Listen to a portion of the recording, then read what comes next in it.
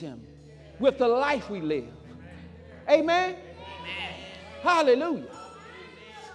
But for those times where we miss it and we, we don't get it right, our acceptance is not predicated on getting it right. Us being loved is not predicated on getting this right. Us being healed is not predicated on getting it right. It's not something we are earning through our good works. So it's nothing that we can miss out on or go without because of bad works. It's all because He loves us. That we can have hope for tomorrow. We can have hope for better. We can have hope of goodness because He loves us. Hallelujah. So we're just going to receive that love today. We're just going to take advantage of that unconditional love that He's bestowed upon us.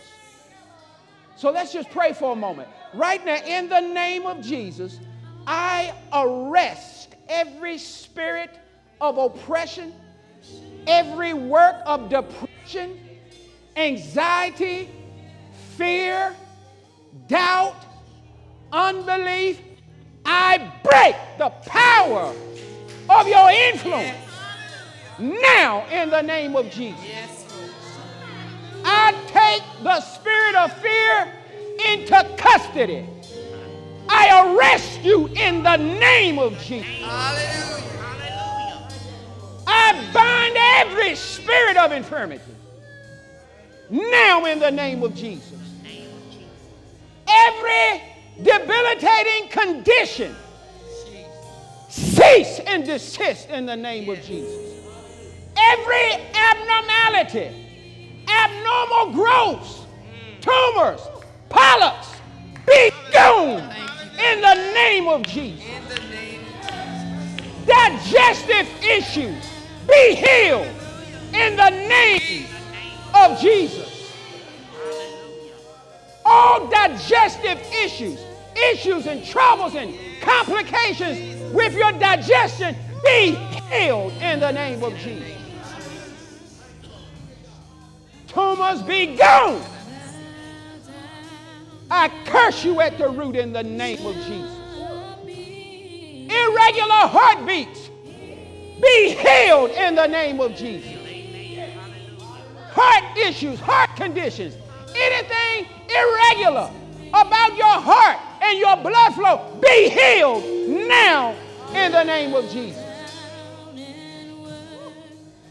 I command your white blood count to be what it needs to be right now in the name of Jesus.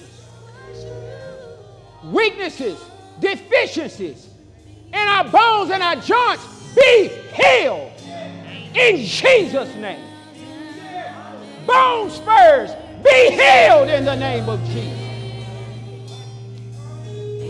Total eradication of the curse in the name of Jesus.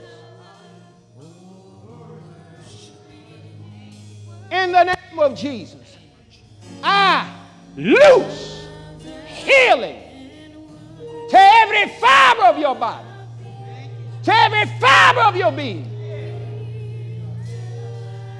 I command you from the sole of your feet to the crown of your head be healed in the name of Jesus. So be it. So be it. Lung conditions be healed in the name of Jesus. Kidneys, I command you, function. Function properly. Function on the level that God created you to. In the name of Jesus. Now go ahead and receive that. Go ahead and mix faith with that and believe you receive that. Believe it in the heart. Say it with the mouth.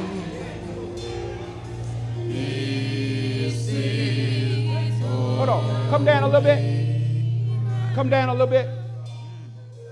No, you got to mix faith with it. You mix faith by believing it in heart and confessing it as yours with the mouth. You need to take it. You need to make a demand on it. If it was something you could feel, check it. You're not checking to see if you got it, you're making a demand on it yes. to be what it needs to be. Bend it, stand on it, twist, shout if you got to run. But receive it. And it's just, it's just because he loves you. It's just because he loves you. All feelings, all, all sense of desertion and abandonment. God is healing your heart. He's healing your soul right now.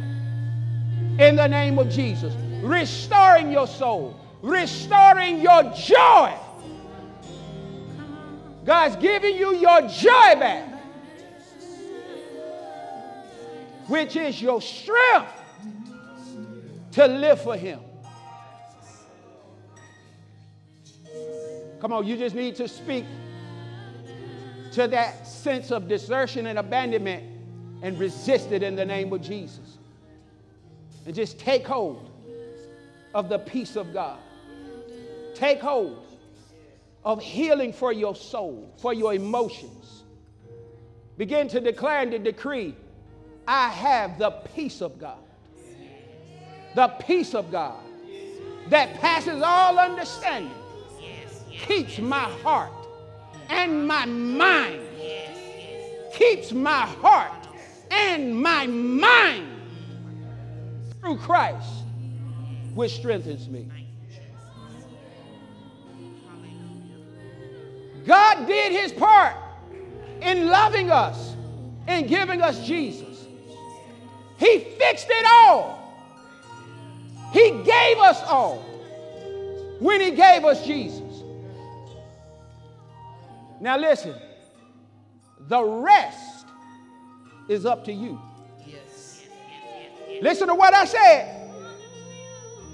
Because of the finished work of the cross, he provided a rest to the people of God. Hallelujah. So he did his part. Now the rest is up to me. Is up to you. The rest that you need to enter into the rest that you need to receive and possess, that's up to you to take. That's up to you to possess. It's been delivered. Now take delivery of it. Take ownership of God's rest for you.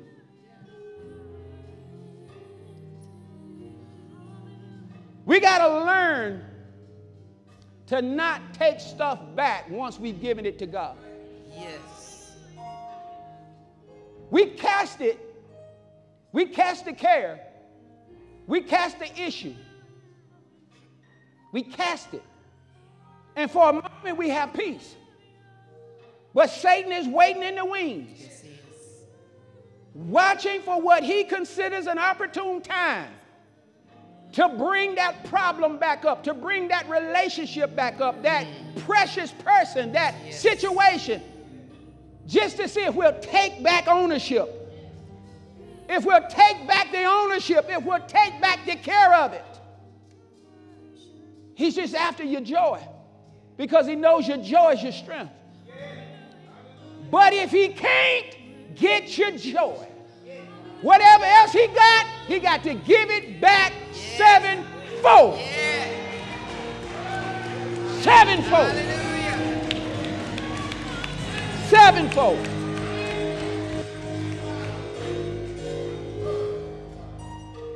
And stop trying to regulate. Stop trying to regulate how it's going to come to pass. Stop trying to figure out what needs to happen in order for it to work for you. Just go straight to the end result. Don't listen. Don't worry about the details. Don't worry about the what ifs and the how abouts and the how come. No, go straight to the bottom line and take it. Thank you, Lord. Declare it's done. Declare it is well. Anything else God needs from you, He'll tell you. Leave it in His hands. Leave them in His hands. Leave it in his hands. He's well able. He's faithful. Yes, he is. Don't worry about trying to position yourself and advocate for yourself for the promotion. It doesn't come from man. It doesn't come through your toil. It doesn't come from the north, south, east, west. It comes from God. Just be faithful to serve Him. Be faithful to live and walk out what you already know to be His will. Just set your heart, set your affection, your mind Yes.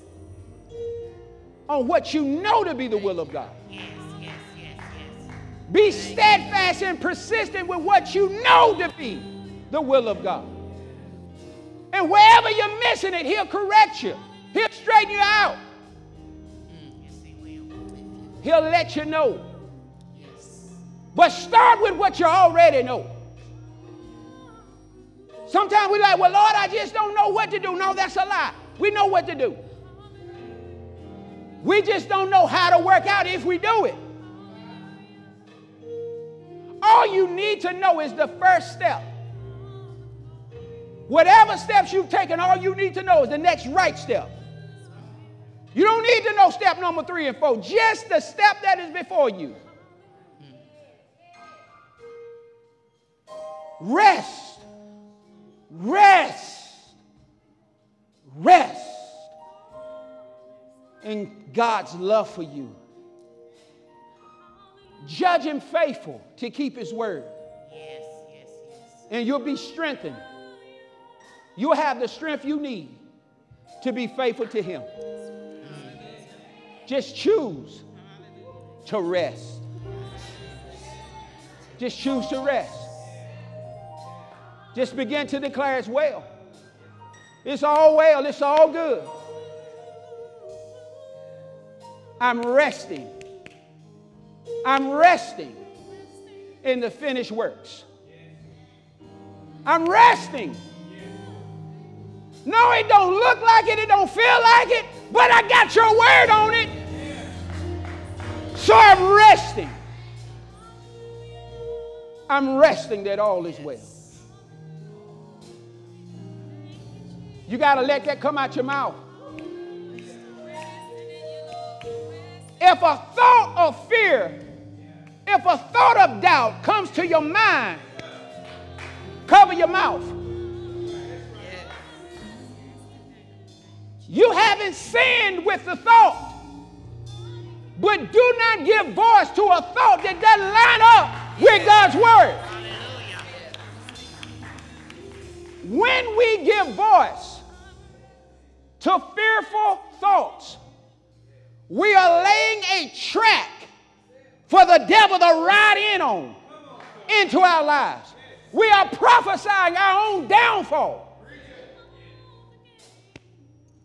Put your hand over your mouth. Be deliberate, be intentional to take God's thoughts. Yes. How? By saying what he says about you. Yes. Say, listen, even, even, even studies have shown you can know a person to be a liar. You can have experienced them telling you lies before. You can listen to them tell you a lie, and you know it's a lie. But if you keep hearing it, if you keep turning it over in your mind, if you keep dwelling on it, if you keep thinking it, you will begin to believe it.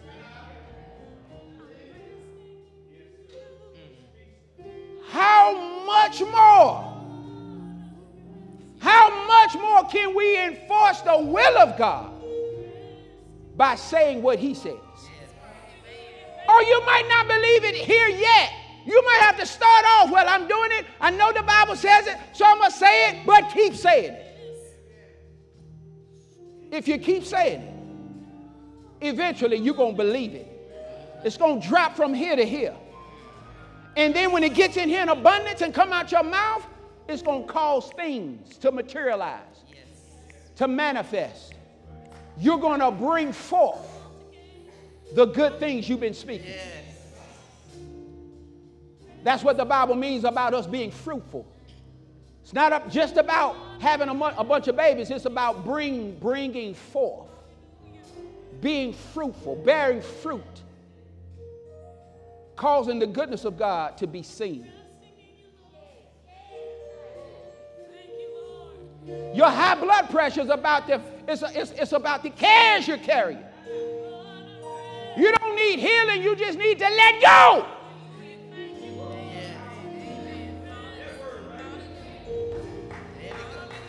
Stop trying to figure it out. Either God is who he says he is, or he ain't. And you just need to decide one way or the other if he is or he's not.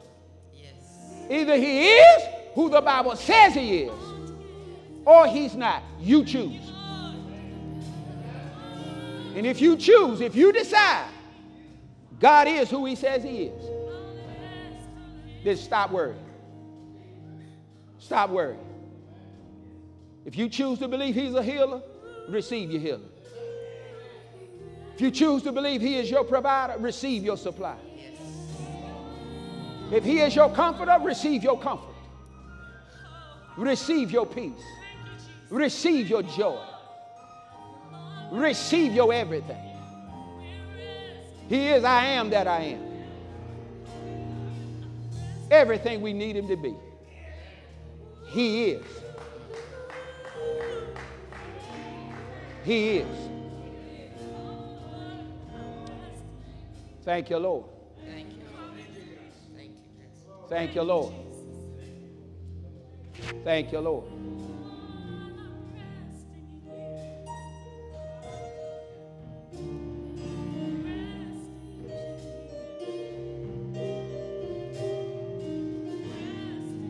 Li- Listen to those words. I'm resting.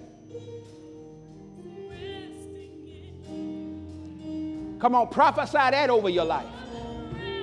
I'm resting. Woo!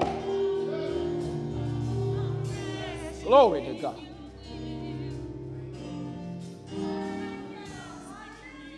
I'm resting, God.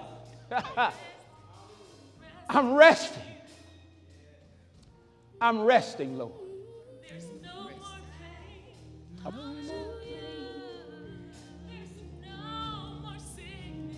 Thank you, Lord. Thank you, Lord.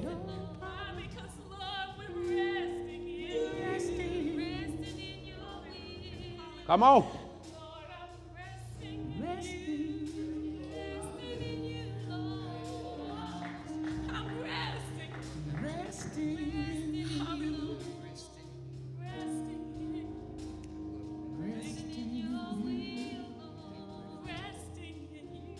Resting.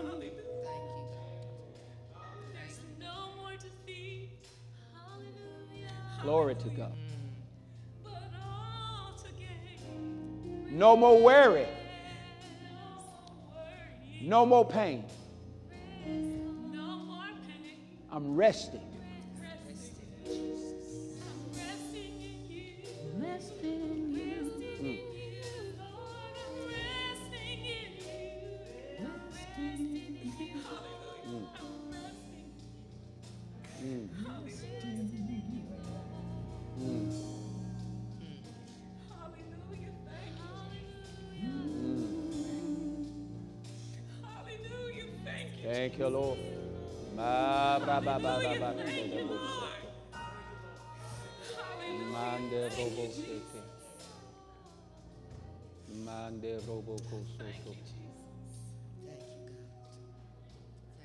Hallelujah.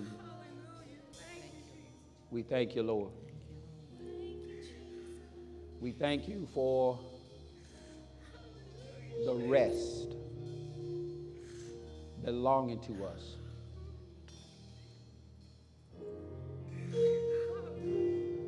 We've just decided to enter in, God. We're resting in you. and everything's all right. Everything's all right. Yes.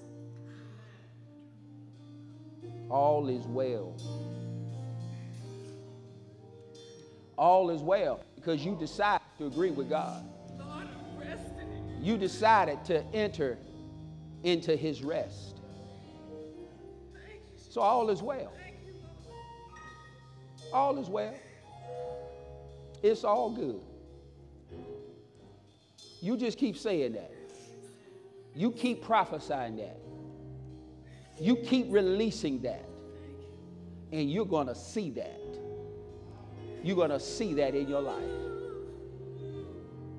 Amen. Glory to God. Oh, glory to God. Thank you, Jesus.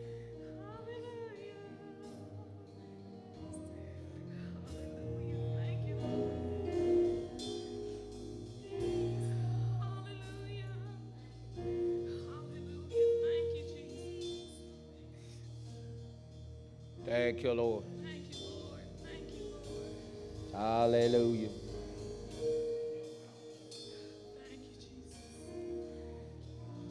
Thank you, God. Glory to God.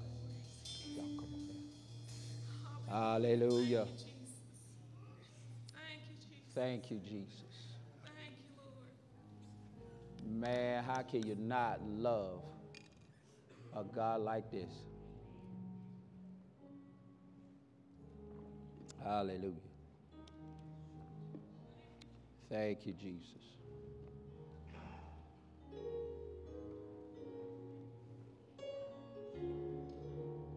Hallelujah. I thought maybe I would do this at the end of the service, but I'm just impressed of the Lord to do it now. So we're, we're going to go ahead and just honor the Lord and worship Him in terms of the baby dedications that we have today.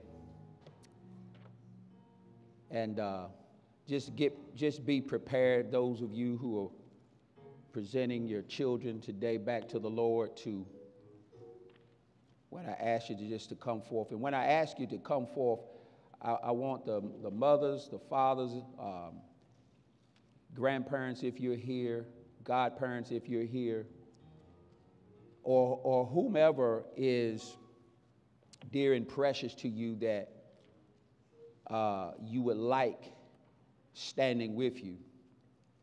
Uh, but I want to read. I want to read a couple of things to you. Uh, you have to bear with me. I'm. I got a Bible here today that I. It's not one I use often, so it's not as broken in as some of my other ones. So. Uh, so if you will, just, just go ahead and, and, and those of you who are coming, just go ahead and bring your children and your babies and just uh, stand here at the altar. And I'm going to read a couple of passages of scripture to you and, uh, and we'll proceed. Amen.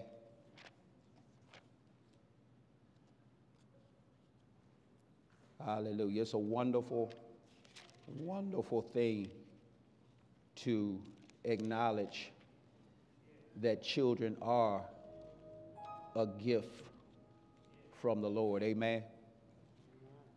And so, and even a greater thing to return them back to the Lord. Amen. Praise God. Hallelujah. Thank you, Jesus. I'm Going to read a couple of verses. The first one is found in 1 Samuel chapter 1. Just going to read just a, a, a couple of verses there. And this is, this is when Hannah had prayed and asked the Lord for a child. And she had promised the Lord to give him back to her. So, having received her child, this is in 1 Samuel chapter 2. And I'm going to read it, verse 27. It says, For this child I prayed, and the Lord hath given me my petition, which I asked of him. Glory to God.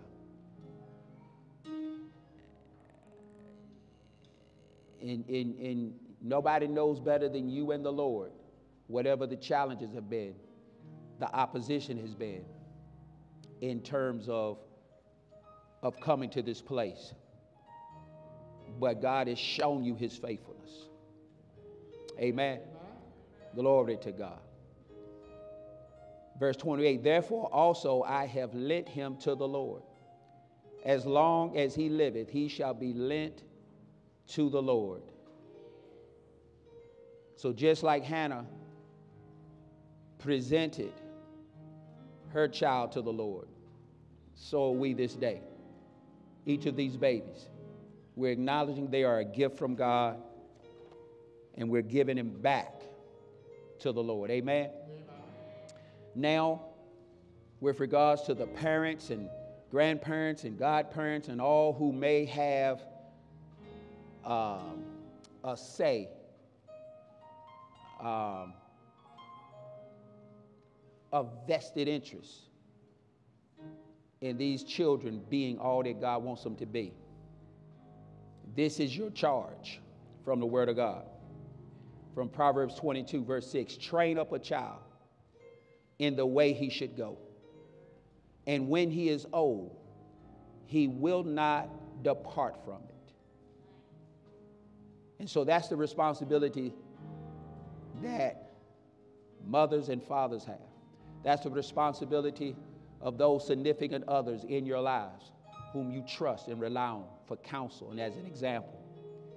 Each of you who are standing here, you have some degree of responsibility for speaking into the lives of these children, for being an example to these children.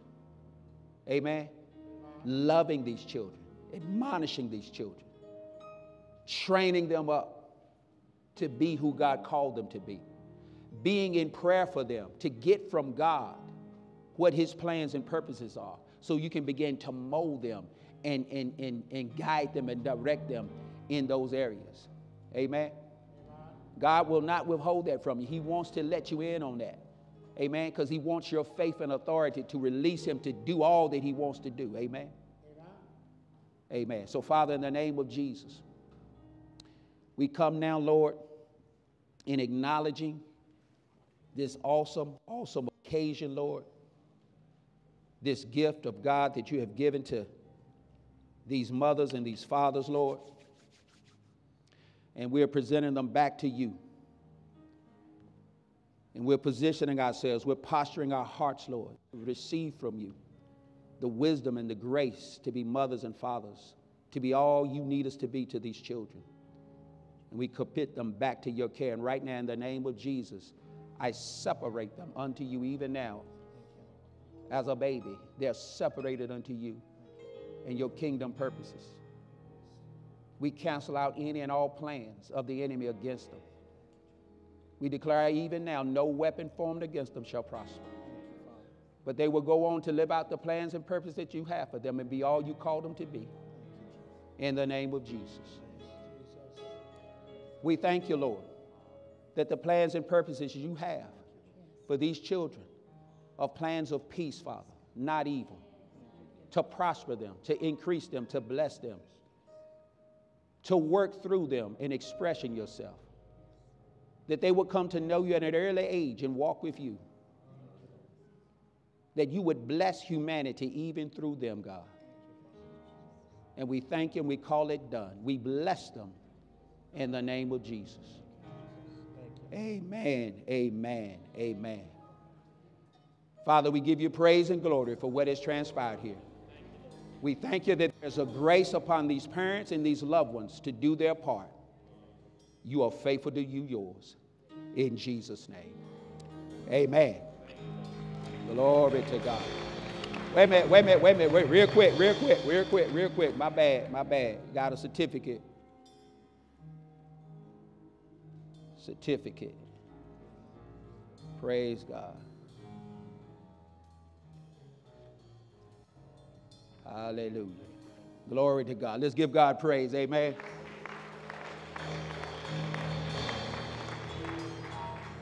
Thank you, Lord. Thank you, Lord Jesus. Glory to God. Thank you, Lord. Hallelujah.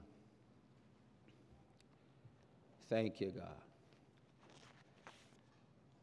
I'm, I'm just going, we're just going to worship in our giving and our tithes and offerings at the, at the end of the service after we have received the word.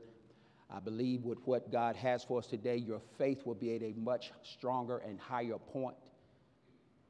For those who are taking advantage of the opportunity to give and worship, your faith will be at a higher point um, as we hear and receive the word uh, to be able to get the maximum yield and return that God promises. Amen. Hallelujah. So we'll, we'll do that at the, at the end. And uh, as, as many as most of you know, I, I think you, you, you probably should know now. Um, you, as a member of this church, as one who God has planted in this church, you know, you're, you're part of an apostolic ministry. You may or may not know that or understand that, but just know that it is. And, in you know, um, missionaries there's, there's one hand, there, I guess there's one form of missionary where believers may go into other places, locales, countries, or even places in, in this country to help um, build up, to help uh, with, just things naturally that are needed to help make life better naturally. You may dig wells and help with a water supply. You may help with, with, with raising vegetables and food and things of this nature. And so that, that has uh, its, its place. Uh, and then there is the aspect of missionary work where you're literally going and preaching the gospel of the kingdom of God. And, and, in, and, and so uh, tomorrow, um, as you know, I'll be leaving for the Philippines um, along with uh, Chaplain Downey. I'm going with him and, and uh, a couple other people joining us there already there. And, and so it'll be like an apostolic um, team uh, meeting with pastors and church leaders to help establish government in order from the word, uh, ministering on Sundays, uh, Sunday mornings in, in, various churches, and actually uh, a healing and faith conference, uh, three day and three nights while we're there. And so, if God has planted you here, you are a part of that. And so, uh, again, I covet your prayers. There's a confession available that I ask that you would just be faithful to give voice to and, and join your faith uh, with ours and one another for just the maximum flow of God's anointing. Amen. Amen.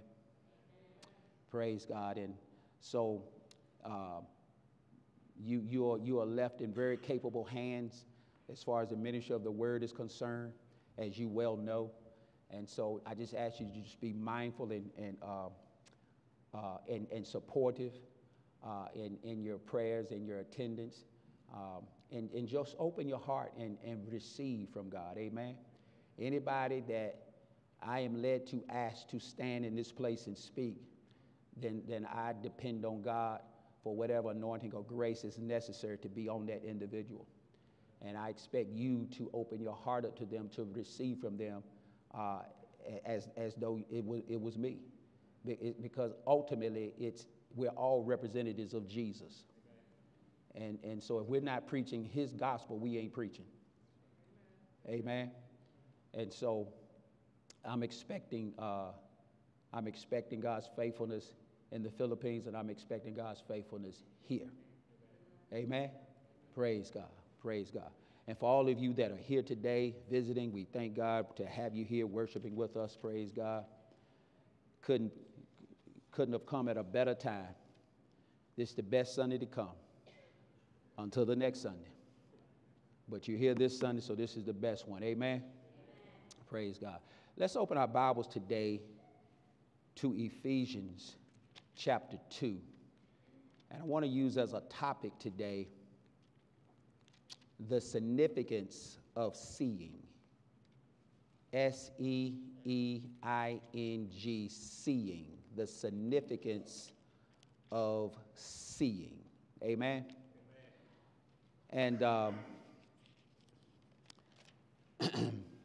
the world, the world has a saying, and I'm sure you've heard it. Seeing is believing. Right? Anybody heard that? Seeing is believing. And usually you hear that, you know, especially in cases where you're being asked to believe something that maybe is, is, is it seems far fetched. Doesn't make any sense. So seeing is believing, right? Um, but in the kingdom, in the kingdom, believing is seeing. Amen. And so we so so so there is significance in our seeing. Amen. We're, we're all seeing something. The question is, what is it based on? What is it governed by? Amen. And so the, the key for us, or the, the, the goal or the objective for us, is to see what God is saying. Amen. And so that's, that's what, I, what I hope to try to uh, uh, minister to you by the Spirit of God is the significance of, of seeing what God is saying because God because it's what, what God says in His Word is not going to show up in our lives unless we can see it. Are you following me? So, so let, let's, let's just kind of get into it a little bit. Ephesians 2, are you there? All right, look at verse 11 with me. Uh, verse 11 reads, Wherefore remember that ye being in time past Gentiles in the flesh, who are called uncircumcision by that which is called the circumcision in the flesh made by hand. So there was a time, right, as that we were Gentiles, meaning we were without God. There was once a time where we were without God in this world. We had no covenant, and therefore we had no hope, right? Verse 12 t- speaks about that. It says that at that time ye were without Christ, being aliens from the commonwealth of Israel and strangers from the covenants of promise, having no hope and without God in this world. Can you give me verse 12 in the Amplified Classic? Give me verse 12. Okay, so now look at this in the Amplified Classic. Uh, remember that you were at that time separated, living apart from Christ, excluded from all part in Him. Amen? Utterly estranged and outlawed from the rights of Israel as a nation. So, in other words, there are covenant rights and privileges that are available to all of us in Christ, but at the time when we were without Christ, we had to go without those rights and privileges. Are you following me? It says, We were strangers with no share in the sacred compacts of the messianic promise, with no knowledge or right in God's agreements his covenants. And you had no hope, you had no promise. You were in the world without God. Let's just stick with the Amplified. Go to verse 13. But now, in Christ Jesus, you who were once, who were once were so far away, through or by or in the blood of Christ have been brought nigh. So, so we were speaking of a time when we were without. But now that you're in Christ, you're no longer without. You follow me? Through and by Christ Jesus, specifically your faith in the blood of Jesus, you have been brought nigh, right? You have been brought nigh. You got it? Now, now, thank you. This word nigh, the King James uses the word nigh. The Amplified says near. But faith in the blood of Jesus has brought us nigh, right? That word nigh means we now have access. We now have access. Your faith in the shed blood of Jesus Christ gives you access to all the rights and privileges that are available to believers, to the children of God. Right? So, so in other words, if you if you right now just think about one or two things off the top of your head that that you that that maybe two one or two needs you can identify, right? Whatever that need is, whatever that issue is, I don't care what it is. Because of your faith in the blood of Jesus, you have access to the answer. You have access to whatever it is you need, not just to, you know, not, not just in terms of your day-to-day, uh, you know, I mean, obviously there are things we need to live, right? We, we need food. We need clothing. We need shelter, right? We need a way of, of, of, getting about to and fro. We, there are things that are basic needs that we all need. But even beyond that, your covenant with God gives you access to everything you need to fulfill your purpose. It gives you access to everything you need and or desire to live out a rich, fulfilling, rewarding life. Everything that's needful and or desirable to glorify God where your life is concerned, to satisfy every desire He's given you, the, the blood of Jesus, faith in the blood, gives you access. So if it's not presently manifesting in our lives, it's not because we don't have access to it. It's because we have not yet taken delivery of it. Y'all ever heard that term, take delivery of something? That means to take delivery of means to actually receive, to possess, and appropriate what's being provided. And so everything that we could ever need or desire that has to do with righteousness and godliness, that has to do with your everyday basic needs being met, and, and that has to do with you fulfilling your purpose, you have access to right? But if it's missing, it's because we have not yet taken delivery of it. And if it's missing, and to what extent it's missing, it's missing because we are not yet at a place where we can see what God is saying about it. Are y'all follow what I'm saying? All right. So, so here's a statement I want to give you. I cannot take delivery of what God has provided me beyond the level on which I can see it. I cannot take delivery of what God has provided me. He's given it to me already. He's given us all things that pertain to life and godliness. Right? If, if, you're, if, if you're a single woman and you want a husband, God, God has given you that. If you want a family, God has given you that right? If it pertains to righteousness and godliness, if it has anything to do with you fulfilling the plan and purpose of God for your life, He's already provided it. But I can't take delivery of it beyond the level on which I can see it. You follow what I'm saying? Now, now, now, let, let's, let's, let's go back to that Ephesians uh, chapter 2. And let's look, let's go back to the King James and, and let's look at verse 12 again. Let's start at verse 12. That at that time, so there was a time, but that's no more, right? At that time you were without Christ, being aliens from the commonwealth of Israel, strangers from the covenants of promise, having no hope and without God in the world. Verse 13. But now in Christ Jesus, say, but now in Christ Jesus. See, if you're because you're in Christ, you're not at the same place you were. You're not in the same state you were, so you shouldn't be living like you was. We shouldn't be going without like we were when we were without Christ. Now that we're in Christ, right?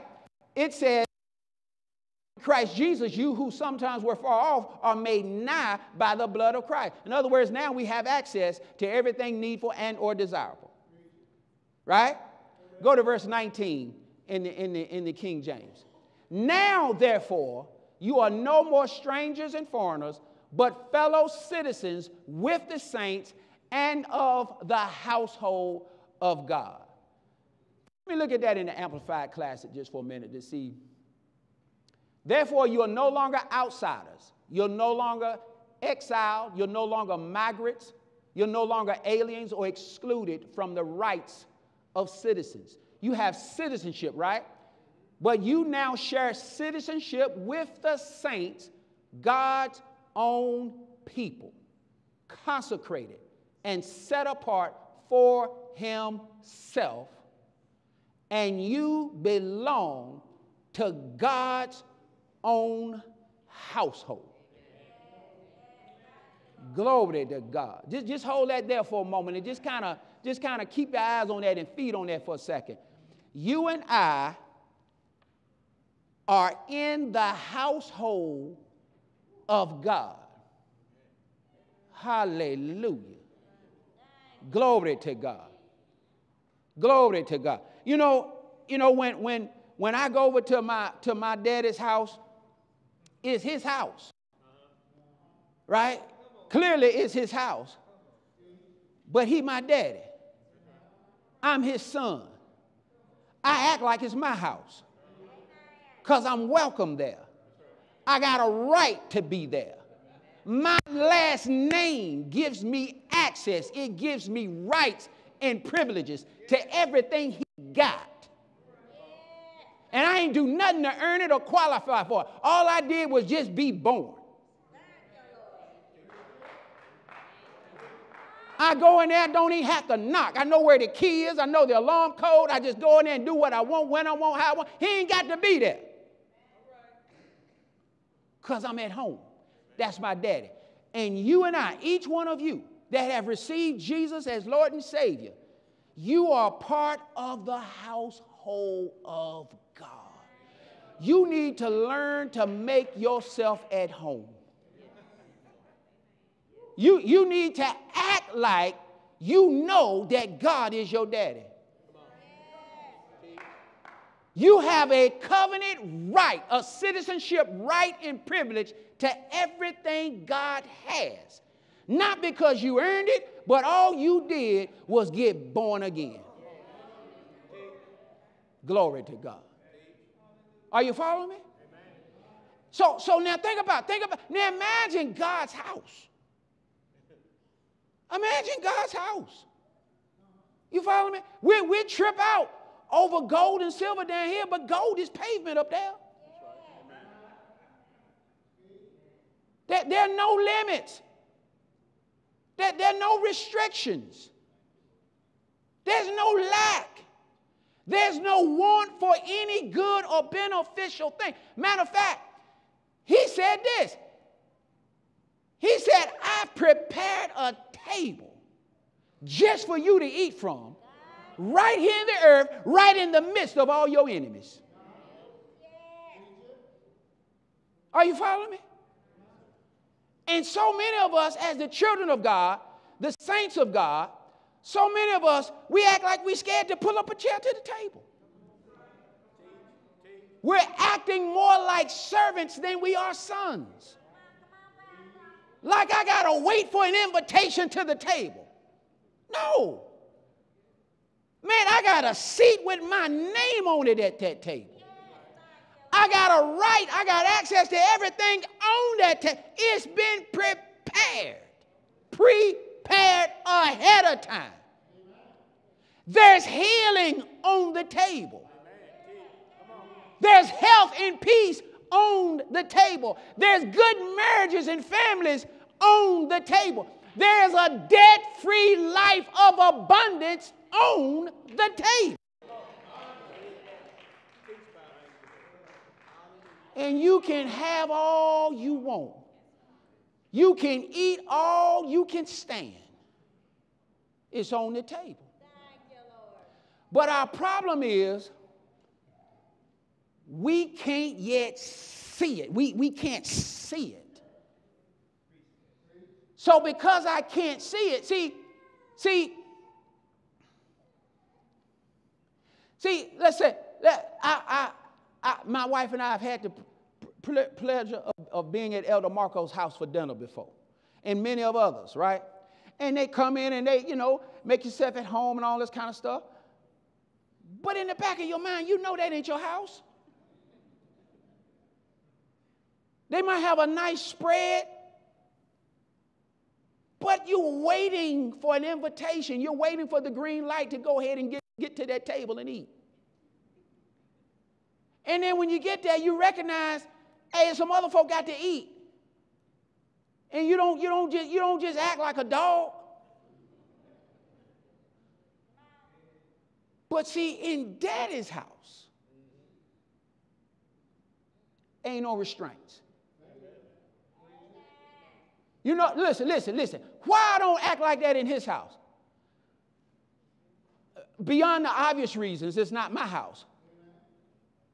But then imagine I go in there and act like I act in my daddy's house.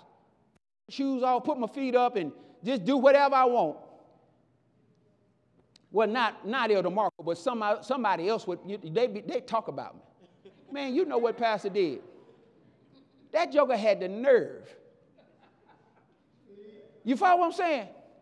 But see, see, in your daddy's house, when you know you're loved, when you know God loves you, He ain't got nothing but good to say about you.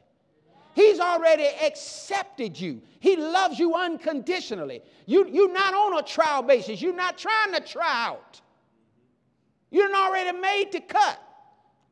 Are you understand what I'm saying? So, so you can just be free. Are y'all follow what I'm saying? But, but in order to take full delivery of everything he's provided, I've got to be able to see it in here. I got to be able to believe it in my heart that it really is so. You follow me? And so I cannot take delivery of it beyond the level on which I can see it. All right, all right. There's a debt free life of abundance waiting on the table for all of us. Oh, man. You know I love you, right? Look at your neighbor and say, Pastor loves you. And he ain't fussing at you. He just wants you to have it. Okay, praise God.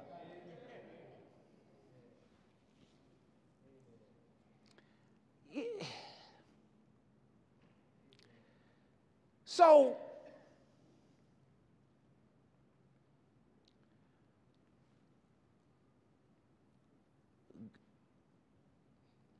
part of what keeps me from seeing what God said. Now remember, remember in the kingdom, believing is seeing. If I believe what I heard him say, then I'll begin to see it in my heart. You follow me?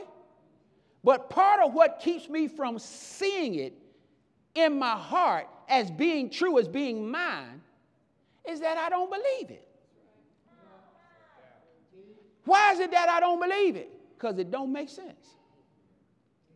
And the world has conditioned me to try to make sense out of stuff. Where the word is not about making sense, the word is about making faith.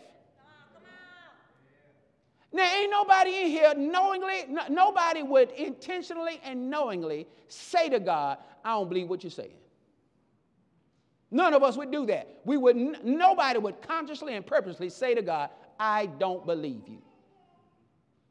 Right? But, but when God shows me something in the Word, when, whether, whether, all right, all right, all right, all right, all right, all right,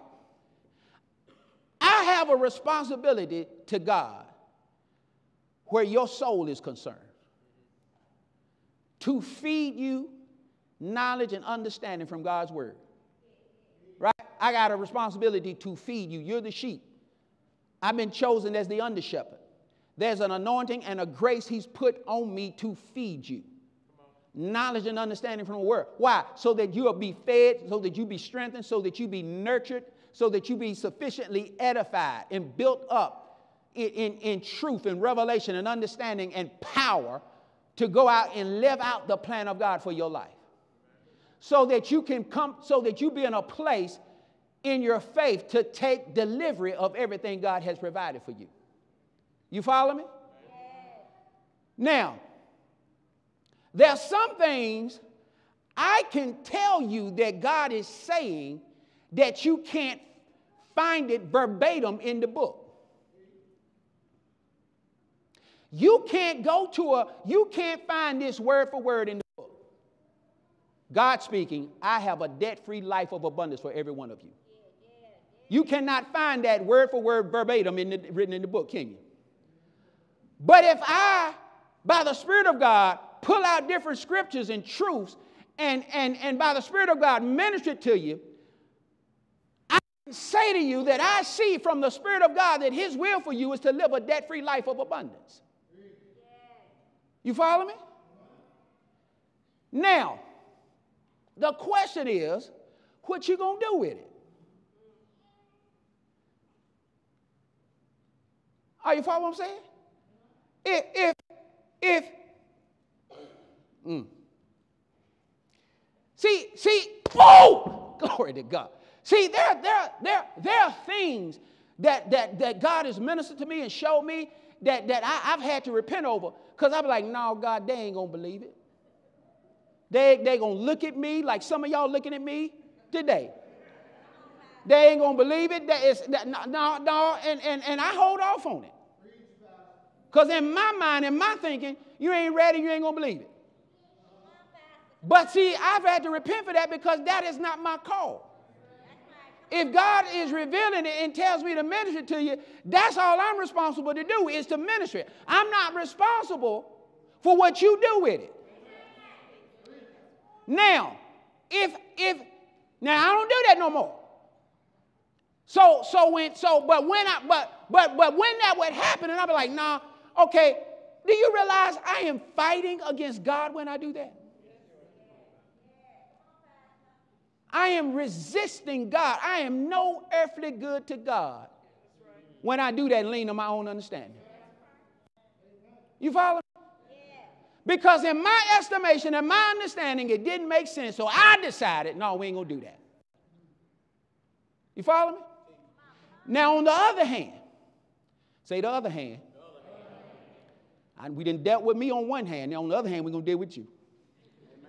Now, on the other hand, if I do get up here and tell you earnestly, passionately, with what I believe God has given me to tell you, and you don't receive it because it don't make sense, now you fighting with God. Uh, you, you, your problem is not with me. I'm just the delivery boy. I didn't come up with the message. I'm just sharing it. We can go a little step further, even beyond what I may be measuring, as it pertains to the vision that God has given us, given me to share with you for this house. And if you're planning here, you're part of the house, you're part of the vision. But if you don't agree with the vision, if you don't agree with, with what I'm sharing as I cast the vision, if you don't agree with the decisions I'm making concerning the implementation of the vision, if you got a problem with my decisions, you are fighting against God. I'm not your problem. Even if you don't say anything openly,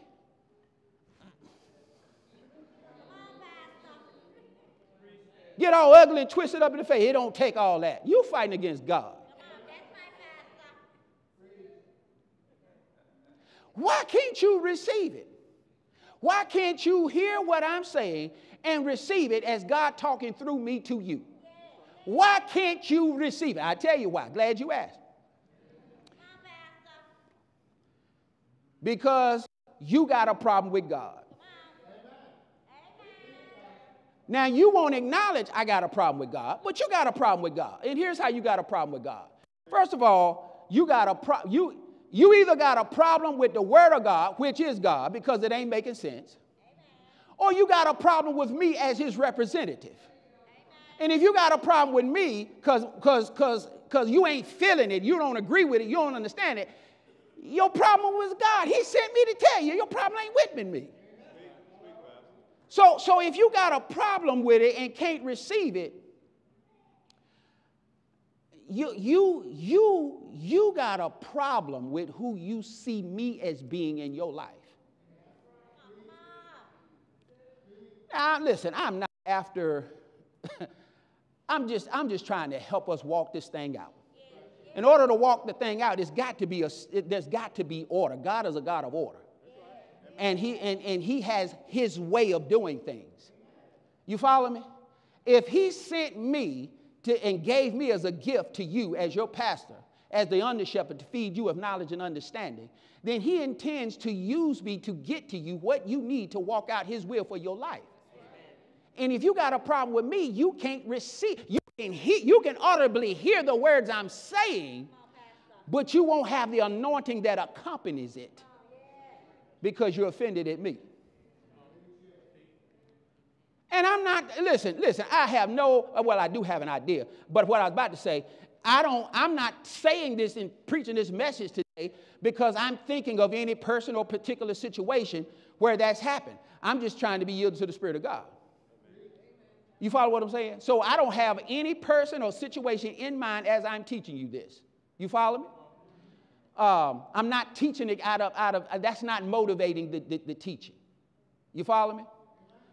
So, so, so you can only receive of the anointing that's on me for you to the degree that you can receive me as being sent from God.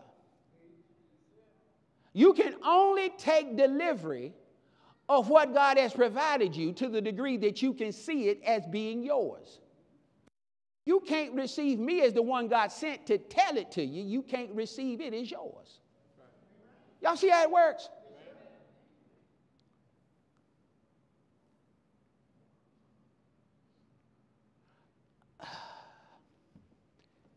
Now look at your neighbor and say, I told you, Pastor, love you. Now, look at Genesis 13. Look at Genesis 13. Now understand, I gotta take, I gotta be able to see what God is saying, see it in my heart as being mine in order to take delivery of it, right?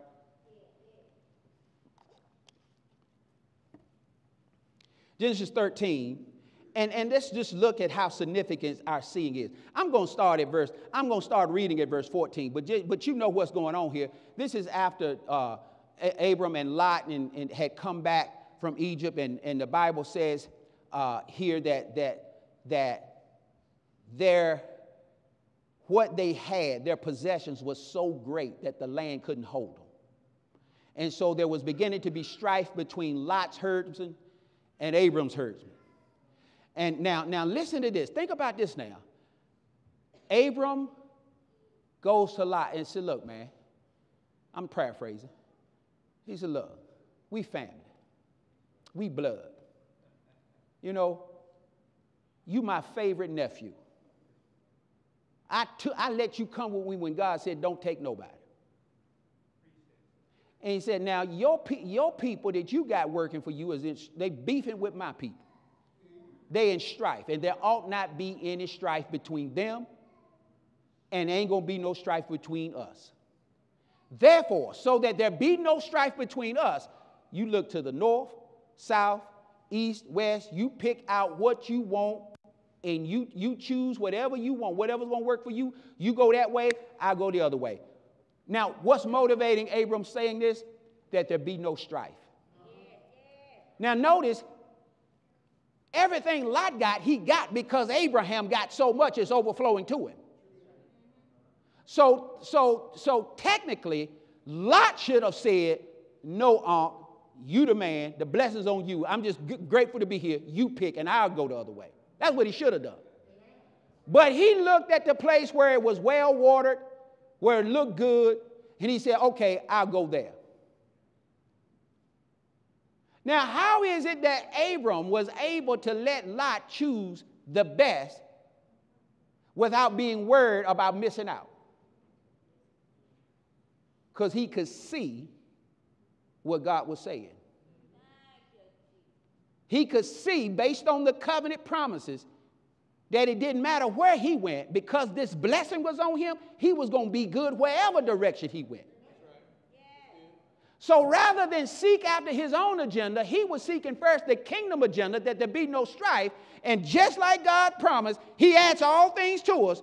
Look right here in verse 14. And the Lord said unto Abram, after that Lot was separated, here come the addition of all things. Lift up now your eyes and look from the place where thou art, northward, southward, eastward, and westward. For all the land which thou seest, to thee will I give it, and to thy seed forever. And I will make thy seed as the dust of the earth, so that if a man can number the dust of the earth, then shall thy seed also be numbered. Arise, walk through the land in the length of it and in the breadth of it, and I will give it unto thee. What is he saying when he says, Arise and walk through the land? He is saying, Get up and take delivery of what I provided you. The word walk in scripture is oftentimes used to talk about our life, our lifestyle, the way we go about living and conducting our affairs. And it, and it carries a connotation of spiritual maturity. So, so, so, so God is saying to us by the Spirit, arise. He's saying, rise up, Oak Hill, and walk with me in a greater level of spiritual maturity.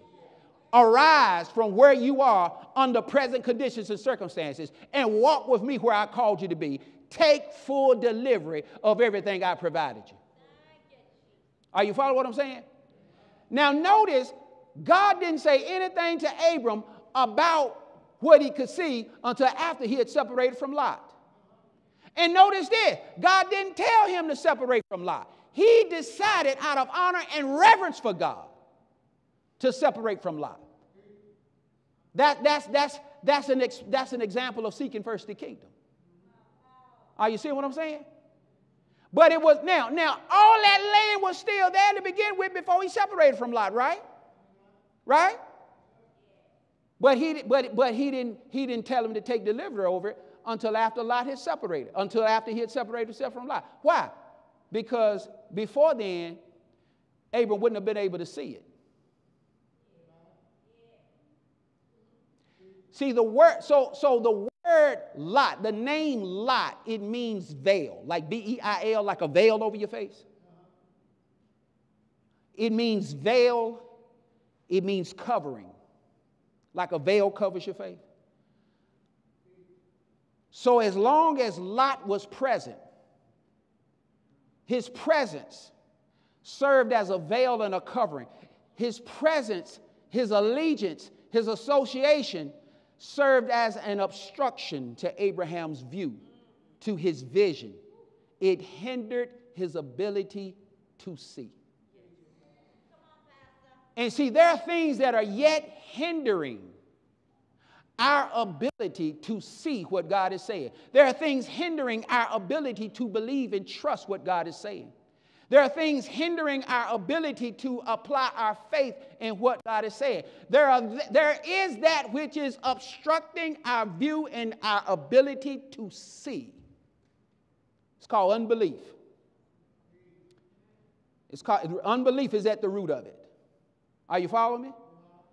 And so we have got to do our part to remove the obstructions, to become separated from whatever's obstructing us. Now, notice what it was Lot's presence that was obstructing his view, right?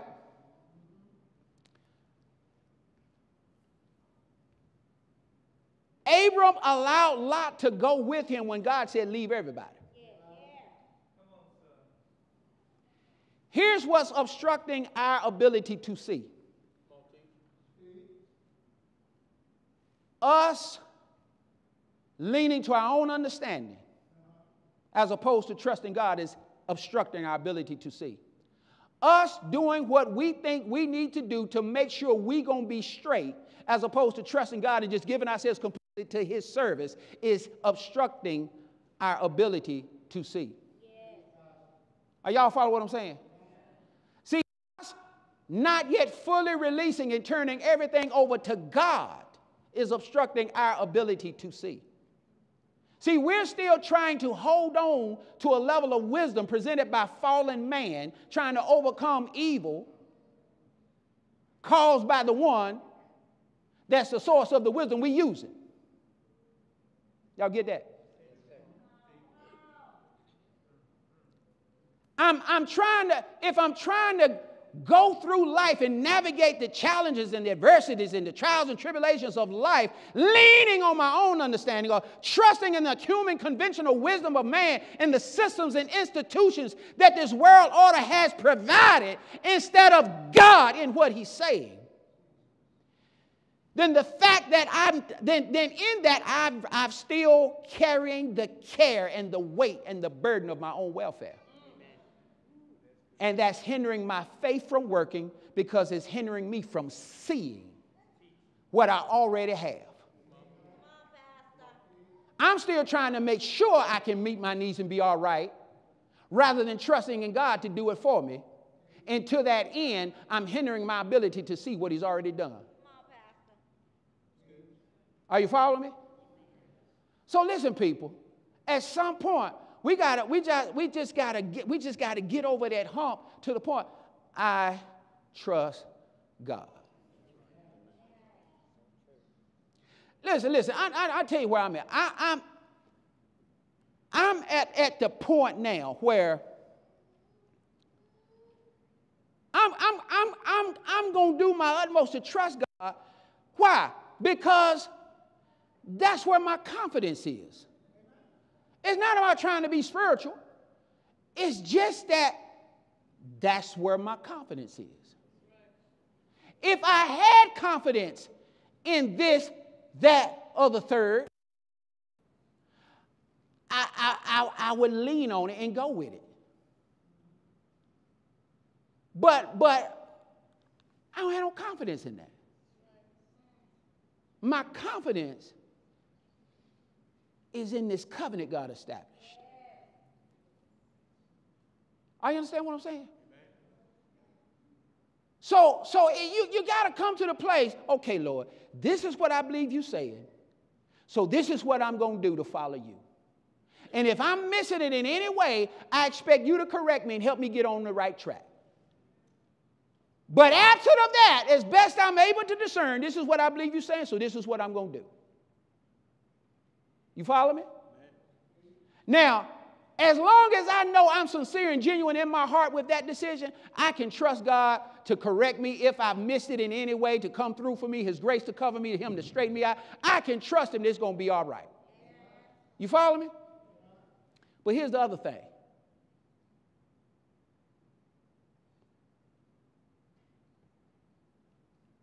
Ah. Sometimes God will tell you something, let you in on something, bring you up, correct you, bring you up to a place of, of, of more insight and understanding. See, what is He doing? He's stretching you, He's stretching your faith. See, we get accustomed to trusting God for the rent money. We get accustomed to trusting God for the mortgage payment. But God's trying to stretch our faith to trust Him for the final payment for the thing to be paid off. We, we trust Him. We trust Him, Lord. We, we, we, we, we, we, we go to the car dealership. Lord, I sure hope the credit score come back high enough. And praise God, He meet us where we are. But He's trying to stretch us out to where He wants us to be to where we can go in there without having to need a credit score. See, he's trying to stretch us. And see, see, he said some things to me like that, and I'm like, oh, man, God, I don't know. And this is my this is my argument. This is my argument with the Lord. Lord, I I I don't know if I I know you're gonna do your part, but I don't know if I can keep up and do my part. And so I talk myself out of even trying because I I, I reasoned out that I can't do what he's asking me. So in, so in the process, I'm going to drop the ball along the way somewhere. Don't you think God knew that when he told me? Don't you think he knows our, our strengths and weaknesses, our tendencies? He know all about us, right? He know we going to mess up before he, he speak to us and instruct us. Because he's not He's not trying to, he's not trying to get us to follow and do what he's calling us to do in ourselves and our own ability. Man, if I go as far as I know how to go, and that ain't enough, that's where his ability kick in. He's the difference maker. So I'd rather endeavor to trust God. Me personally, you do you. With me personally, I'd rather endeavor to trust God and come up a little short than not try at all. Because I know if I keep at it, if I keep at it, the day is going to come when I cross that threshold, when I get that breakthrough, and bam, it's going to be on. Are you following what I'm saying? See, do you remember how difficult and, and, and troublesome it was to believe God on one level that you're no longer on? You've surpassed that level, you're on a higher level. And you look back and like, man, I can't believe that I was so worried. Why? Because you're, listen, you see God for who He is in a greater way than what you could see then. You can see what He's saying in a greater depth and a greater degree of understanding and light and revelation. So you see how easy it was for Him to do that. But now He done brought us to a higher place, and He's trying to take us still to a higher place. But we are having trouble going because I can't see what He's saying, right? Now He told Abram, as far as you can see, I've given it to you. And that same way with God. God, listen, God has given us further than we can see. But I can't take delivery of it beyond what I can see. So, so, so you, you follow me? And see, I cannot go where I cannot see. I think I got a statement like that. I cannot go where I cannot see. I can't, I can't go to a place of walking in divine health if I can't see myself walking in divine health. I can't go to a place of a debt free life of abundance if I can't see myself as being debt free, having abundance. Are you following what I'm saying? I cannot go to a place of, of, of paying off your house I can't see myself as being able to pay off your house. Y'all follow what I'm saying? I remember one time I was in the grocery store and, uh, and, and the Lord impressed upon me to, to pay, for, pay for this lady's groceries. I just saw the lady when, when I got that impression. But before I said, yeah, you know what I did? I checked out her cart to see, to see, to see if it looked like I had enough to do it or if it was going to be a little, little tight. You follow me? But God's trying to get us to the place where when you hear it, when you hear what he say, it's an automatic response. Yes, sir. I got you. You, don't even, you ain't even worried about the, about, about the cart, what's in the cart. You follow me? Why? Because listen, it ain't about my ability. Whatever I got, he provided it. I'm just being a steward over it as he says. When he make it flow to me, I let it flow through me to go where he wants it to go. And then he promised to multiply it and get it back to me. And thus I am enriched in all bountifulness. When, you, when we let God tell us what to do with what he gave us and actually obey it, he multiplies it and gives it back to us more and more. But I am not, I'm not going to let go of what he gave me if I can't see what he's saying about giving it back to me. Are y'all following me? I cannot go in God, with God, where I cannot see. You follow me? I got to be able to see what he's saying. So, so that, that's, that's true even, even with Jesus. Jesus had to be able to see what the Lord was saying in order to, to finish his course. You follow me? Look at, look at Mark, uh, look at Mark chapter 10, verse 33 and, and 34. Just trying to make sure. Yeah, look now,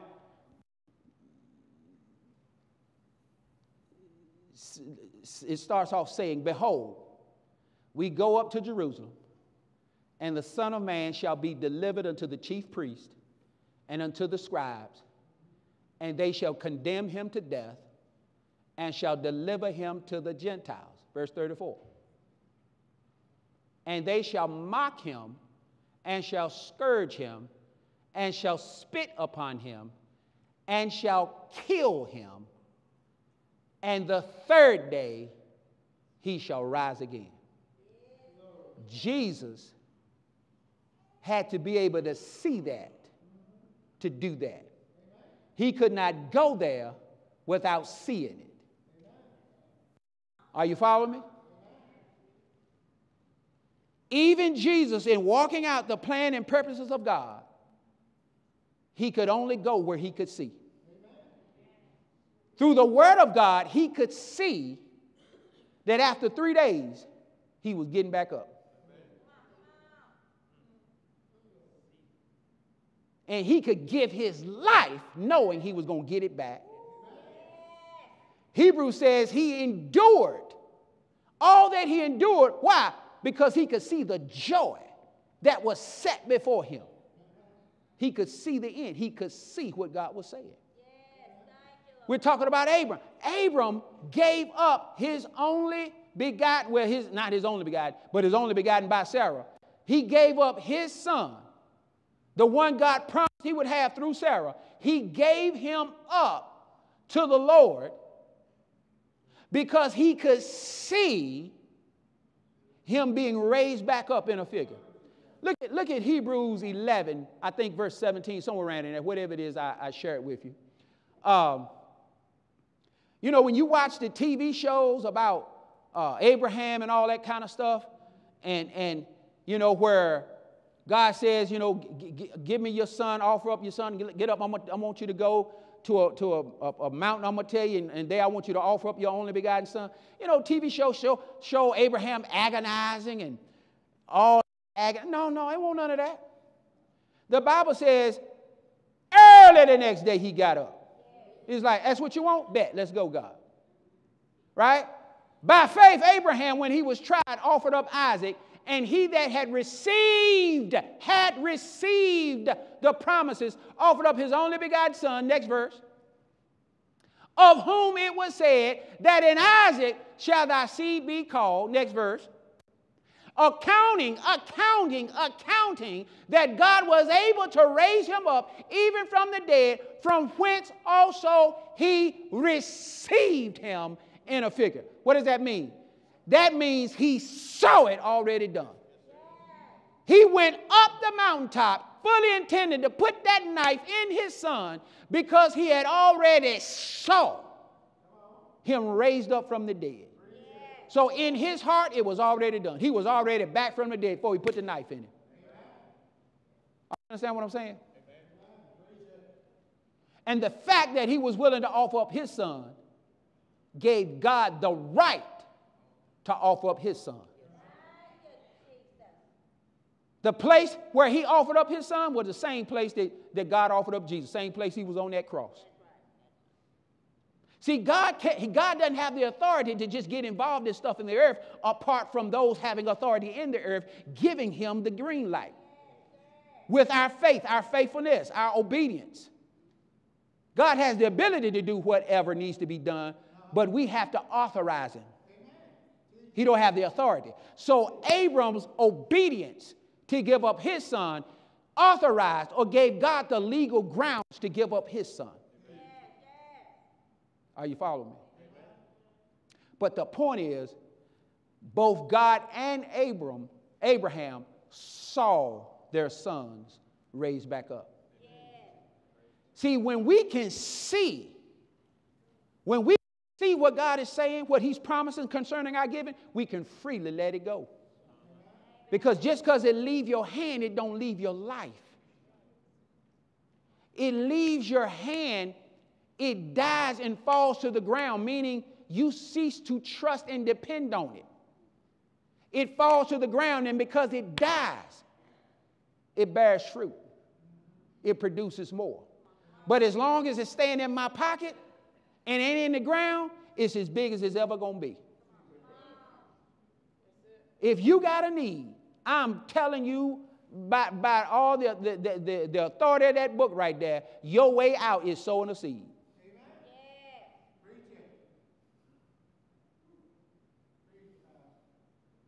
As, I mean, you know, I tell you what, just keep watching. I'm, I, I, I'm going to prove everything I'm telling you. Just keep watching. Just keep watching. I, listen, man, I, am I'm, I'm tired of playing around. I'm tired of messing around. I, I, uh, no, I, you just, just keep watching. Just keep watching. You follow me? Now let me see if I had. Okay, yeah, I tell you that. All right, all right. Now let, let's let's get to this and, and let's let's deal with this. So so so so I tell you what, pull up pull up for me Matthew uh, 6, 19 and 20. I, I, touched on this last Sunday, I believe, and, and, and, and the Sunday before that, or Wednesday before that. Uh, I, I shared with you several, several Saturdays ago, laying right here in the floor on a Saturday. The Lord ministered to me, got up and wrote down that, that He was calling me, mandating to lead this body into a debt free life, debt free living, a life of abundance, right? From covetousness to covenant, right?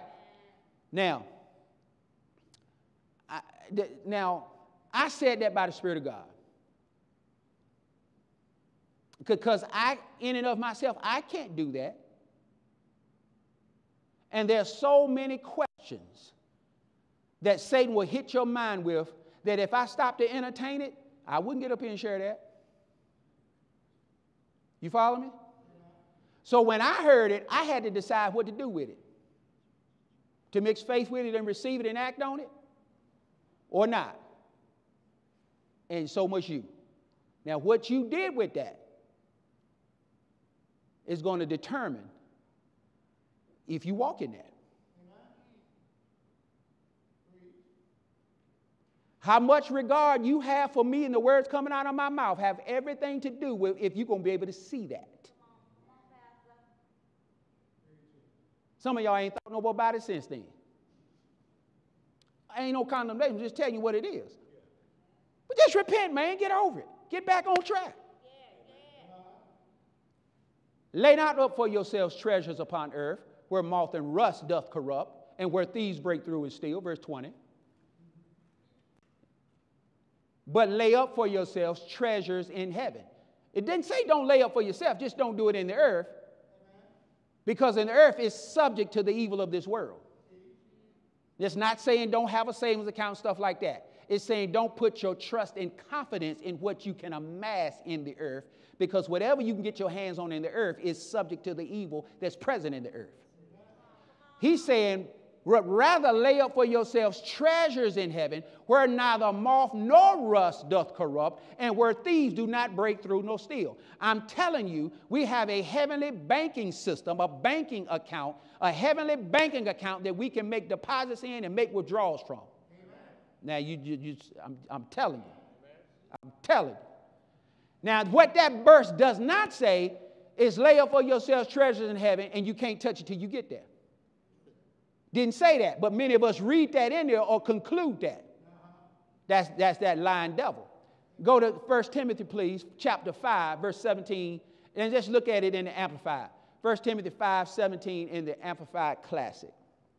I'm going to tell you, it's, it, you, you, you lay it up for yourselves in heaven to be able to use and benefit from in the earth. You follow me? Look at this. Um, No, I'm sorry. Verse, uh, chapter 6. My bad. That's my mistake. First Timothy chapter 6. That's a good one to look at too, though. Praise God. Hallelujah. Look at First Timothy chapter 6. As for the rich in this world, say that's me.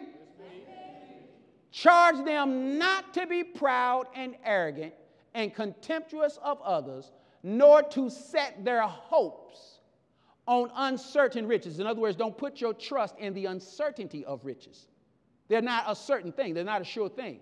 If it's in the earth, Satan can get at it. He can affect it through recessions, oppressions, depression, all that. You follow me? He says, Charge them not to be proud and arrogant contemptuous of others, nor to set their hopes on uncertain riches, but on God, who richly and ceaselessly provides us with everything, provides us with everything, provides us with everything for our enjoyment. Look at verse 18. Charge them to do good, to be rich in good works. Talking about us now. To be liberal and generous of heart, ready to share with others. Right? Next verse, please. In this way, laying up for themselves the riches that endure forever as a good foundation for the future, so that they may grasp. I think the King James says, lay hold of that which is life indeed. King James says, lay hold of eternal life. This says, so that you may grasp that which is life indeed. Now tell me this you don't need to lay hold of eternal life in heaven. Eternal life doesn't begin when you get to heaven. Eternal life begins when you receive Jesus as your Lord and Savior. But to lay hold of it, to grasp it, means to take delivery of it. So when you give, when you sow, when you yield to God and be a blessing in some capacity, tithes, offerings, whatever other sowing you do, your giving is laying up for you a treasure in heaven against, the, against as a good foundation for the future so that you can grasp it at the time you need it. Now, let me prove that to you. Go to Philippians 4, please, chapter, uh, verse 15. Philippians 4 15. And, the, and let's look at it in King James first. Now, ye Philippians know also that in the beginning of the gospel, when I departed from Macedonia, no church communicated with me as concerning giving and receiving, but ye only. Next verse. For even in Thessalonica ye sent once and again unto my necessity. Next verse. Not because I desire gift, but I desire fruit that may abound to your account. Now go back to 15 in the Amplified Classic. Verse 15. Yes. Now look at this. Now, you Philippians yourselves well know that in the early days of the gospel ministry, when I left Macedonia, no church assembly entered into partnership with me and opened up a debit and credit account in giving and receiving except you only. So he's talking to a church that partnered with him and helped him to take the gospel of the kingdom to places where it had not been established. So their part was to pray for him and to contribute to his life and necessities and, and with contributions. So, there, so he's saying here it's a debit and credit account. It's giving and receiving. That's partnership. You follow me? Nobody did it except you only. Next verse 16, Amplified Classic. For even in Thessalonica, you sent me contributions for my needs, not only once, but a second time. Verse 17. Not that I seek or am eager for your gift.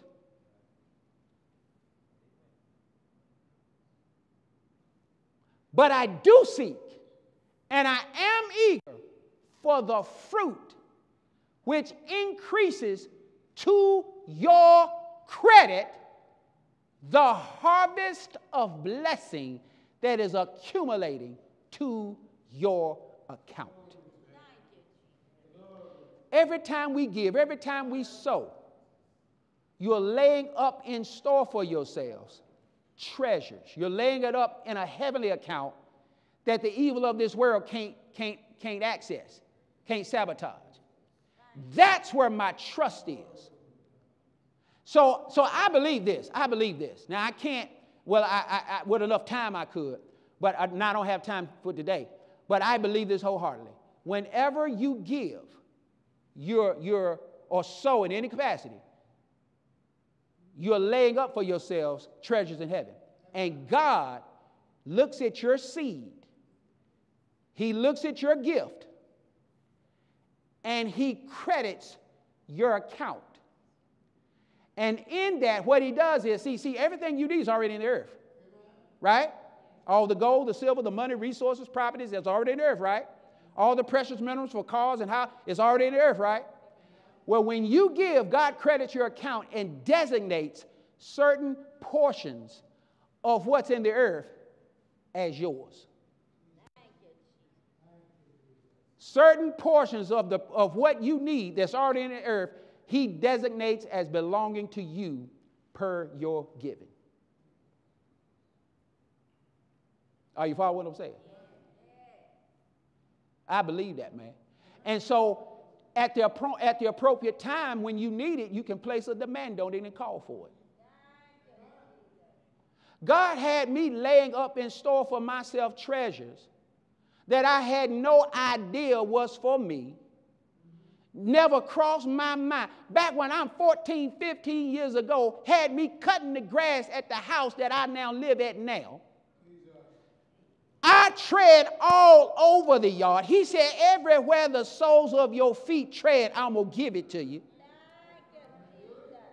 We were living in Richmond when it became time where we knew it was time to move back here. Had no, we had a house and didn't have nowhere to live in here. God set it up where we began leasing the home where we were living. Then He set it up where we could purchase it, the, guy, the owner finance it and then brought in all the money that the guy required. The, the, the, the, value of praise, whatever the praise for, the guy said, I'll sell it to you at, at 20,000 less than what it appraised. Uh, he said, but I just want a 20,000 deposit. And it, it was not in my earthly account, but I had it on deposit and God got it in hand without no toil, without no sorrow, without asking nobody for it, without borrowing for it. You know how I got it to us? The same way I'm going to teach you how you can get it to you. This, this book, if you don't have this book, this would be a good investment. This is a book called The Laws of Prosperity by Kenneth Copeland. Y'all ever heard of, of Bishop David Oyedepo out of Africa? Years and years ago, he took this book, he took a book written by Gloria Copeland called God's Will for You is Prosperity, and a jug of water, and his Bible, and spent three days praying and fasting and reading these books. And at the end of three days, he had a revelation that he was rich and he'd never borrow another dime in his life. And that man has got to have the biggest ministry that I know of in the earth, all debt free. It would amaze you to start telling you the stuff that they have accomplished through laws of sowing and reaping. It, it would amaze you. It would amaze. I mean, you talking about building a 55,000 seat auditorium, debt free, and got the nerve. I ain't say 5,500. 55, man, that's more people that's in Henry County. And got three services a Sunday. Then God had nerve enough to tell him to build an overflow room. And he put up two additional tents that are now uh, uh, permanent structures, I believe. And, and, and the first day they was open, they was filled. He invited Kenneth Copeland to come and preach there. Kenneth Copeland went and saw it, and, and his wife saw it, and his wife said the, the student then outstripped the teacher. Anyway, I, I, I, I'm just telling you it's a good resource, and I'm going to read to you. Um, I, am just going to read to you some steps that, that you can take. You ain't got to do none of this between you and the Lord. But if you if you receive it, you can change your life and, and I'm going to read some steps to you that, that we've acted on, and, and we are uh, again acting on, placing a demand on some things. Uh, and it's exciting, man. And then I'm going to read you a sample prayer, a sample prayer, a sample confession that, that you can do. Okay, so there, there are basically six steps. See, here's the thing we've been conditioned by the world system to, to think that who we work for determines our income and they don't. They may set the salary, they may determine how much they're willing to pay you, but they don't determine how much money can come in to your house. You follow me? And so God, that, that's why, see, that was the whole purpose for, for the blessing that was on Abraham's life. We do know enough about Abraham to know that the blessing made him rich, right? Okay, you ever read where Abraham worked for somebody? He had a job, had a 401k, he took out a loan. No, he worked for God. He served God's purposes. Kingdom first, and all things was added. The blessing of the Lord, it maketh rich, not our toil, not how hard we can go to that job and punch the clock. Now, we should go to the job. I'm not saying you're not supposed to work, but the motive shouldn't be to earn a living. The motive should be to earn a giving. The motive should be to glorify God and resolve the problems you're there to address. But you don't depend on that salary to live, you depend on the blessing to produce for you to live. So you can set and determine how much comes into your house, regardless of your job.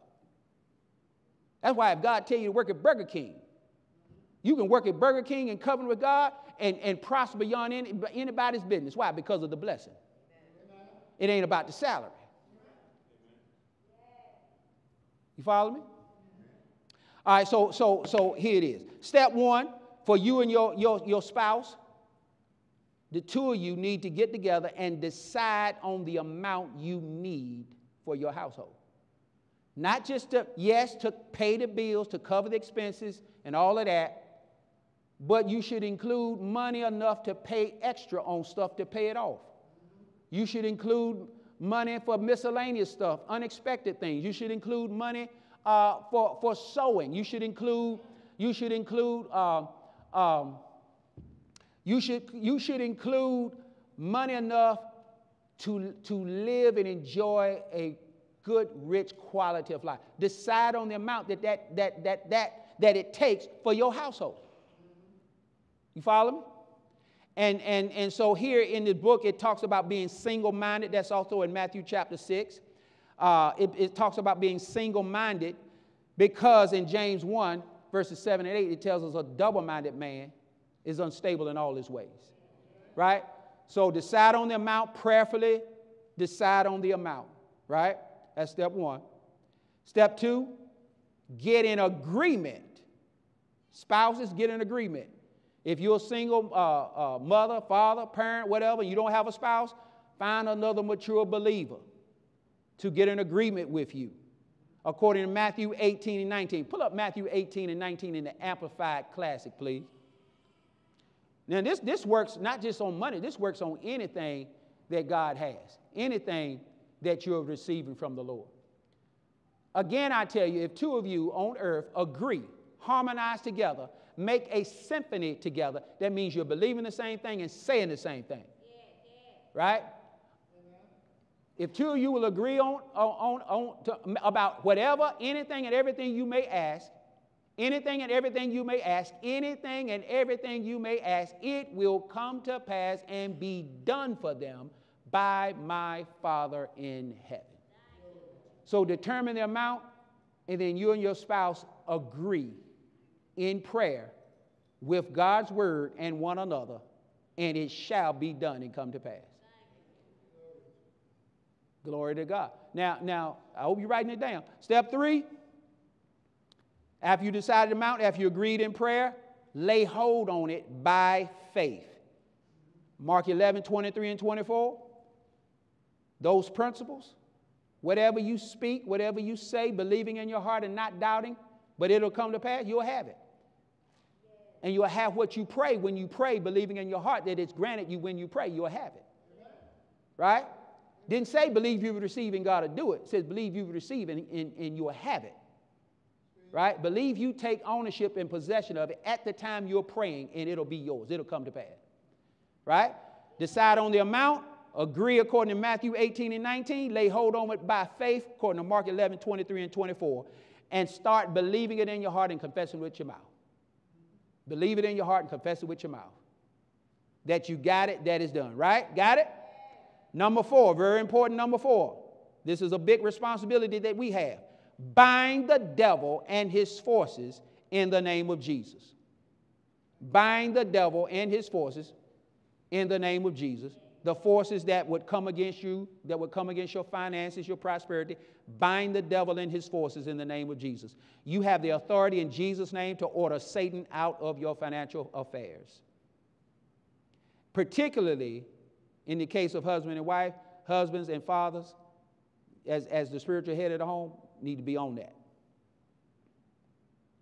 Got it? Number five, loose the forces of heaven. Hebrews 1 and 14. Hebrews 1 and 14 refers to the angels as ministering spirits. They are ministering spirits sent forth to minister for us who are heirs of salvation. They don't minister to us, they minister for us. Right? How? As you give voice to God's word, right? Their job is to hearken to that and bring it to pass. Right? So you loose the forces of heaven, you loose the ministering spirits to go and bring about what you're giving voice to. You got that? Number six, begin to praise God for the answer. Praise keeps the door of abundance wide open. Praise keeps the door of abundance wide open. Because, see, when you're praising God, that's one of the highest expressions of your faith. You're giving God praise and thanksgiving for something you can't see yet in the natural. But because you can see what He's saying, you see that you got it and you give Him praise and thanksgiving.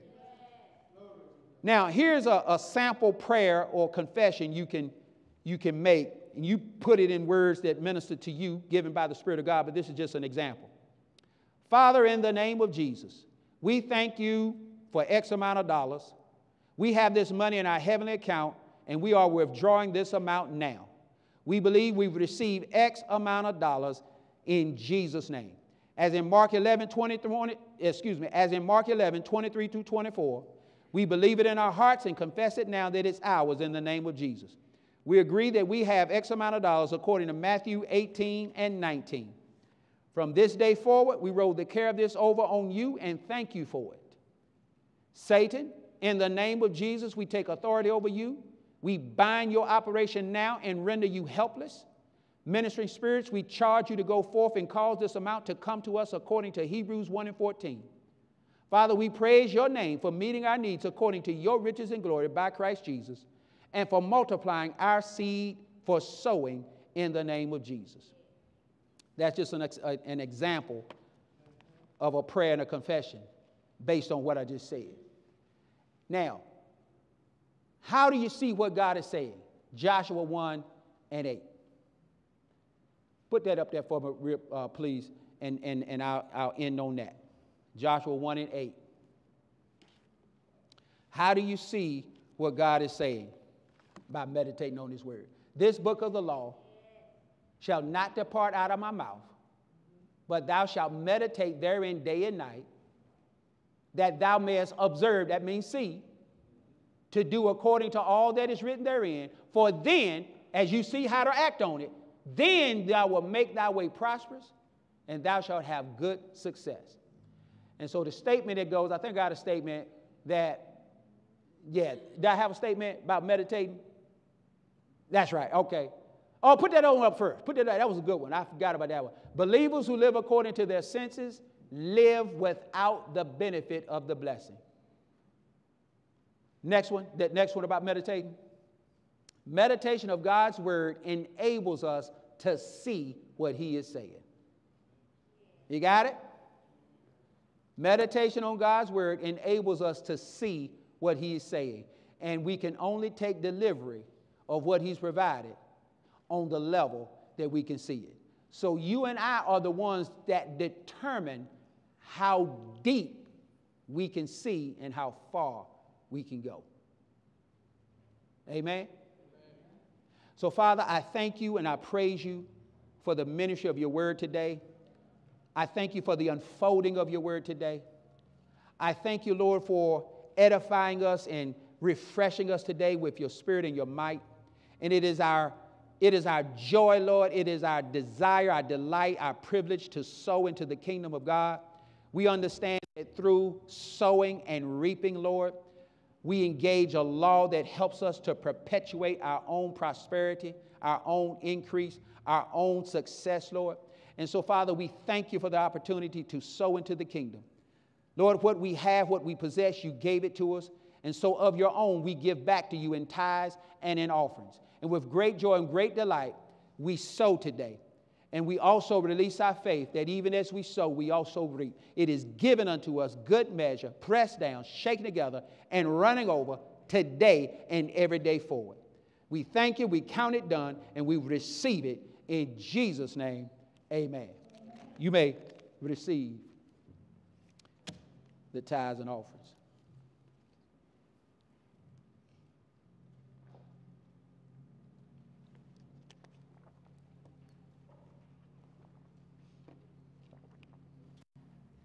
Hallelujah.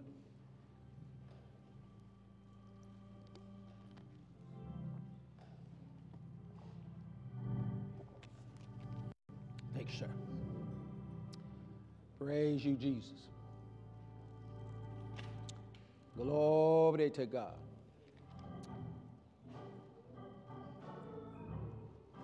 Hallelujah. Praise you, Jesus. Glory to God. How awesome it is to serve the Lord, the Most High God. Amen. Praise God. Let's stand to our feet.